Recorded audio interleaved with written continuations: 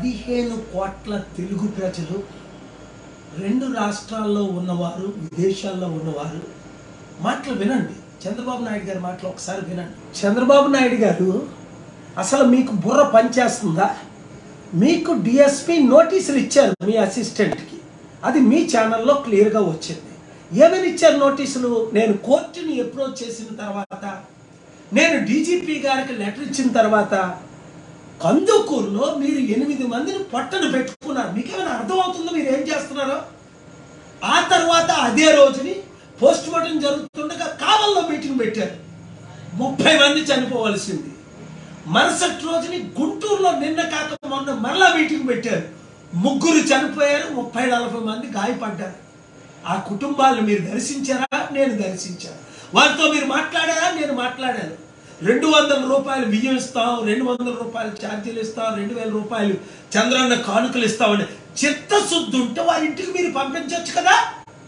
మధ్యాహ్నం రెండు గంటలకు వారు రావడం సాయంత్రం ఏడు దాకా మీ మీటింగుల్లో ఉంచుకోవడం ఆ తర్వాత ఇస్తామని చెప్పి ఇవ్వకపోవడం వెయ్యి మంది రెండు వందలు రెండు వేల మంది పట్టే స్థలాల్లో యాభై అరవై వేల మందిని రప్పించుకోవడం అంటే మేము స్వచ్ఛందంగా వస్తున్నారని అబద్ధాలు చెప్పడం మీది అన్ని మేము ఇన్వెస్టిగేట్ చేస్తాం. ఒక్కరైనా స్వచ్ఛందంగా వస్తున్నారా?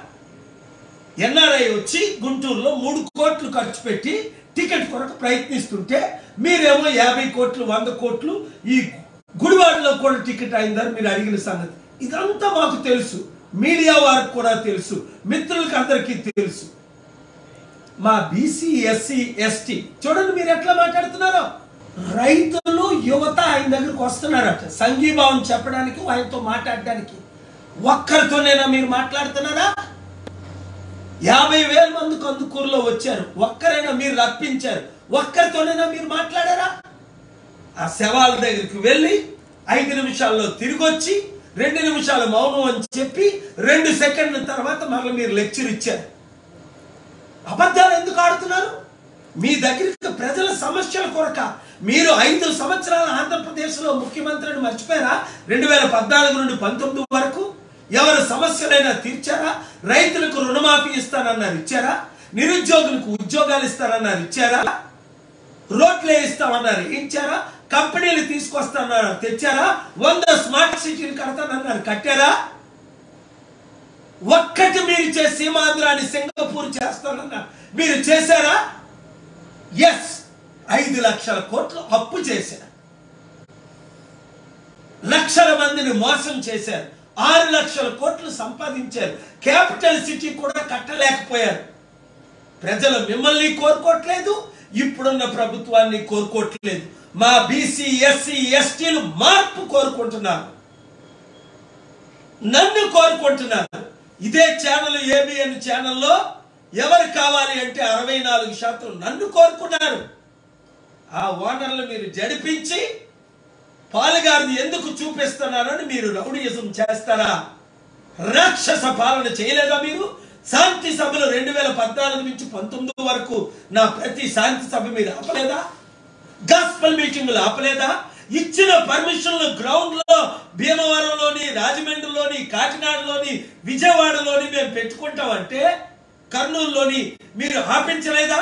మీ డిఎస్పీలు పంపించి శాంతి సభలే మీరు ఆపించినప్పుడు గాస్పల్ మీటింగే మీరు ఆపించినప్పుడు ఐదు సంవత్సరాలు ఎనభై రెండు సార్లు మా వాళ్ళు కాల్ చేస్తే మీరు నడి రోడ్డు మీద ఇల్లీగల్గా రోడ్ షోలు పెడుతుంటే నా ఒత్తిడి మీద ఇంతవరకు చంద్రబాబు నాయుడు గారిని ఎవరు ఆపలేదు. మూడున్నర సంవత్సరాలు జగన్మోహన్ రెడ్డికి ధైర్యం సరిపోక డీజీపీలకి ధైర్యం సరిపోక నేను ఒత్తిడి పెట్టానని నేను హైకోర్టుకి వెళ్ళానని నేను ధర్నాలు చేశానని నేను ప్రజల తరపున నిలబడ్డానని చివరికి నేను ఇచ్చిన లెటర్ మీద మీడియా సపోర్ట్తో ఆపారు ఇప్పుడు. అది కూడా ఈ రోజు ఆపారు. ఇదిగో నేను ఇప్పుడు కాకినాడ నుంచి బయలుదేరి వస్తున్నా. మరలా మీ రోడ్ షోకి పర్మిషన్ ఇచ్చి మిమ్మల్ని అరెస్ట్ చేయకుండా ఉంటే నేనే కుప్పం వస్తా. కుప్పం నీదా? ఏం చేసావు నువ్వు కుప్పంలో? ఏం చేసావు అభివృద్ధి? లక్షల మంది నిరుద్యోగులు చిత్తూరు అంతా ఉన్నారు. పద్దెనిమిది లక్షల మంది నా గ్రూపుల్లో జాయిన్ అయ్యారు. Zero zero one three four six eight one two six five four six. ఈ పాలన మాకు వద్దు. చంద్రబాబు నాయుడు లోకేష్ ఈ పాలన మాకు వద్దు. కేఏ పాలు కావాలి ప్రజాశాంతి పార్టీ కావాలి అన్నవారు అందరూ. బీసీ ఎస్సీ ఎస్టీ ముస్లిం క్రిస్టియన్ మైనారిటీ అగ్రవర్ణంలో ఉందరు. ఏకమవుదా? తొమ్మిది లక్షల కోట్లు ఇప్పుడు వీళ్ళిద్దరు చేసిన అప్పులు తీర్చుదాం అభివృద్ధి చేసుకుందాం. పదిహేను కోట్ల తెలుగు ప్రజలు రెండు రాష్ట్రాల్లో ఉన్నవారు విదేశాల్లో ఉన్నవారు మాటలు వినండి. చంద్రబాబు నాయుడు గారి మాటలు ఒకసారి వినండి. చంద్రబాబు నాయుడు గారు అసలు మీకు బుర్ర పనిచేస్తుందా? మీకు డిఎస్పి నోటీసులు ఇచ్చారు మీ అసిస్టెంట్కి. అది మీ ఛానల్లో క్లియర్గా వచ్చింది. ఏమని ఇచ్చారు నోటీసులు? నేను కోర్టుని అప్రోచ్ చేసిన తర్వాత నేను డీజీపీ గారికి లెటర్ ఇచ్చిన తర్వాత కందుకూరులో మీరు ఎనిమిది మందిని పట్టను పెట్టుకున్నారు. మీకేమైనా అర్థమవుతుందో మీరు ఏం చేస్తున్నారో? ఆ తర్వాత అదే రోజుని పోస్ట్ మార్టం జరుగుతుండగా కావల్లో మీటింగ్ పెట్టారు. ముప్పై మంది చనిపోవలసింది. మరుసటి రోజుని గుంటూరులో నిన్న కాక మొన్న మరలా మీటింగ్ పెట్టారు. ముగ్గురు చనిపోయారు ముప్పై నలభై మంది గాయపడ్డారు. ఆ కుటుంబాలను మీరు దర్శించారా? నేను దర్శించాను. వారితో మీరు మాట్లాడారా? నేను మాట్లాడాను. రెండు వందల రూపాయలు బియ్యం ఇస్తాం రెండు వందల రూపాయలు ఛార్జీలు ఇస్తాం రెండు వేల రూపాయలు చంద్రన్న కానుకలు ఇస్తామని చిత్తశుద్ధి ఉంటే వారి ఇంటికి మీరు పంపించవచ్చు కదా? మధ్యాహ్నం రెండు గంటలకు వారు రావడం సాయంత్రం ఏడు దాకా మీ మీటింగుల్లో ఉంచుకోవడం ఆ తర్వాత ఇస్తామని చెప్పి ఇవ్వకపోవడం వెయ్యి మంది రెండు వందలు రెండు వేల మంది పట్టే స్థలాల్లో యాభై అరవై వేల మందిని రప్పించుకోవడం. ఏమేనంటే మేము స్వచ్ఛందంగా వస్తున్నారని అబద్ధాలు చెప్పడం. మీది అన్ని మేము ఇన్వెస్టిగేట్ చేసాం ఒక్కరైనా స్వచ్ఛందంగా వస్తున్నారా? ఎన్ఆర్ఐ వచ్చి గుంటూరులో మూడు కోట్లు ఖర్చు పెట్టి టికెట్ కొరకు ప్రయత్నిస్తుంటే మీరేమో యాభై కోట్లు వంద కోట్లు ఈ గుడివాడలో కూడా టికెట్ అయిందని మీరు అడిగిన సంగతి. ఇదంతా మాకు తెలుసు. మీడియా వారికి కూడా తెలుసు. మిత్రులకు అందరికీ తెలుసు. మా బీసీ ఎస్సీ ఎస్టీ చూడండి మీరు ఎట్లా మాట్లాడుతున్నారో. రైతులు యువత ఆయన దగ్గరకు వస్తున్నారట. సంఘీభావం చెప్పడానికి ఆయనతో మాట్లాడడానికి. ఒక్కరితోనేనా మీరు మాట్లాడుతున్నారా? యాభై వేల మంది కందుకూరులో వచ్చారు. ఒక్కరైనా మీరు రప్పించారు. ఒక్కరితోనైనా మీరు మాట్లాడారా? ఆ శవాల దగ్గరికి వెళ్ళి ఐదు నిమిషాల్లో తిరిగి వచ్చి రెండు నిమిషాలు మౌనం అని చెప్పి రెండు సెకండ్ల తర్వాత మరల మీరు లెక్చర్ ఇచ్చారు. అబద్ధాలు ఎందుకు ఆడుతున్నారు? మీ దగ్గరికి ప్రజల సమస్యల కొరక మీరు ఐదు సంవత్సరాల ఆంధ్రప్రదేశ్లో ముఖ్యమంత్రిని మర్చిపోయారా? రెండు వేల పద్నాలుగు నుండి పంతొమ్మిది వరకు ఎవరి సమస్యలైనా తీర్చారా? రైతులకు రుణమాఫీ ఇస్తానన్నారు ఇచ్చారా? నిరుద్యోగులకు ఉద్యోగాలు ఇస్తానన్నారు ఇచ్చారా? రోడ్లే ఇస్తామన్నారు ఇచ్చారా? కంపెనీలు తీసుకొస్తానన్నారు తెచ్చారా? వంద స్మార్ట్ సిటీలు కడతానన్నారు కట్టారా? ఒక్కటి మీరు చేసి సీమాంధ్రాన్ని సింగపూర్ చేస్తానన్నారు మీరు చేశారా?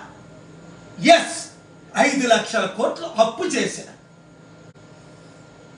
లక్షల మందిని మోసం చేశారు. ఆరు లక్షల కోట్లు సంపాదించారు. క్యాపిటల్ సిటీ కూడా కట్టలేకపోయారు. ప్రజలు మిమ్మల్ని కోరుకోవట్లేదు. ఇప్పుడున్న ప్రభుత్వాన్ని కోరుకోవట్లేదు. మా బీసీ ఎస్సీ ఎస్టీలు మార్పు కోరుకుంటున్నారు. నన్ను కోరుకుంటున్నారు. ఇదే ఛానల్ ఏబిఎన్ ఛానల్లో ఎవరు కావాలి అంటే అరవై నాలుగు శాతం నన్ను కోరుకున్నారు. ఆ ఓనర్లు మీరు జడిపించి పాలుగారిని ఎందుకు చూపిస్తున్నారని మీరు రౌడీయిజం చేస్తారా? రాక్షస పాలన చేయలేదా మీరు? శాంతి సభలు రెండు వేల పద్నాలుగు నుంచి పంతొమ్మిది వరకు నా ప్రతి శాంతి సభ మీరు ఆపలేదా? గాస్పల్ మీటింగ్లు ఆపలేదా? ఇచ్చిన పర్మిషన్లు గ్రౌండ్లో భీమవరంలోని రాజమండ్రిలోని కాకినాడలోని విజయవాడలోని మేము పెట్టుకుంటామంటే కర్నూలులోని మీరు ఆపించలేదా? మీ డిఎస్పీలు పంపించి శాంతి సభలే మీరు ఆపించినప్పుడు గాస్పల్ మీటింగే మీరు ఆపించినప్పుడు ఐదు సంవత్సరాలు ఎనభై రెండు సార్లు మా వాళ్ళు కాల్ చేస్తే మీరు నడి రోడ్డు మీద ఇల్లీగల్గా రోడ్ షోలు పెడుతుంటే నా ఒత్తిడి మీద ఇంతవరకు చంద్రబాబు నాయుడు గారిని ఎవరు ఆపలేదు? మూడున్నర సంవత్సరాలు జగన్మోహన్ రెడ్డికి ధైర్యం సరిపోక డీజీపీలకి ధైర్యం సరిపోక. నేను ఒత్తిడి పెట్టానని నేను హైకోర్టుకి వెళ్ళానని నేను దండాలు చేశానని నేను ప్రజల తరపున నిలబడ్డానని చివరికి నేను ఇచ్చిన లెటర్ మీద మీడియా సపోర్ట్తో ఆపారు ఇప్పుడు. అది కూడా ఈ రోజు ఆపారు.